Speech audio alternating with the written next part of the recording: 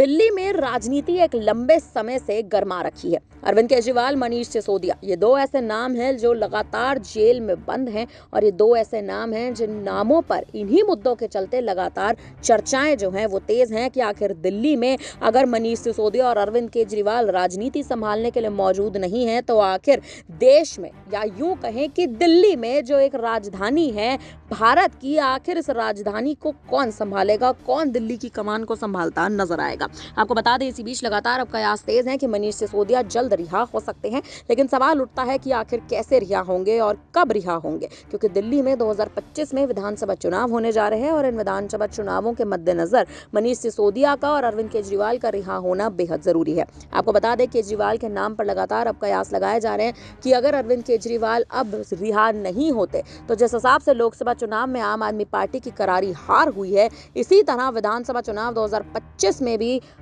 आम आदमी पार्टी को करारी शिकस्त का सामना करना पड़ सकता है। आपको बता दें, इसी बीच ईडी के बाद अब सीबीआई का भी शिकंजा अरविंद केजरीवाल पर कहीं ना कहीं कसता नज़र आ रहा है और मनीष सिसोदिया का नाम आम आदमी पार्टी ने दबा रखा है। सवाल यह है कि आखिर मनीष सिसोदिया की कोई सुनवाई क्यों नहीं हो रही? मनीष सिसोदिया का नाम चर्चा में क्यों नहीं बना हुआ? क्योंकि मनीष सिसोदिया एक ऐसा नाम है जो दिल्ली की राजनीति को अरविंद केजरीवाल के बिना भी कहीं ना कहीं जमीनी स्तर पर संभालते नज़र आ सकते हैं और ऐसे कई बार तमाम ऐसे मुद्दे रहे हैं जिन मुद्दों पर मनीष सिसोदिया अकेले जंग लड़ते नज़र आए हैं जब केजरीवाल खुद मौजूद नहीं हुआ करते थे। लेकिन अब लगातार अटकलें लगाई जा रही हैं कि आखिर अरविंद केजरीवाल और मनीष सिसोदिया के नाम पर रिहाई की मोहर आखिर कब लगती नज़र आएगी? आखिर कब दोनों की सुनवाई, दोनों के पक्ष में जाती नज़र आएगी? और आम आदमी पार्टी की जो डूबती नैया दिल्ली में कहीं ना कहीं दिखाई दे रही है, उस डूबती नैया को आखिर आम आदमी पार्टी कैसे संभालेगी? क्योंकि 2025 के विधानसभा चुनाव लगातार राजनीति में एक बड़ी हलचल पैदा कर रहे हैं और दिल्ली में इसका खासा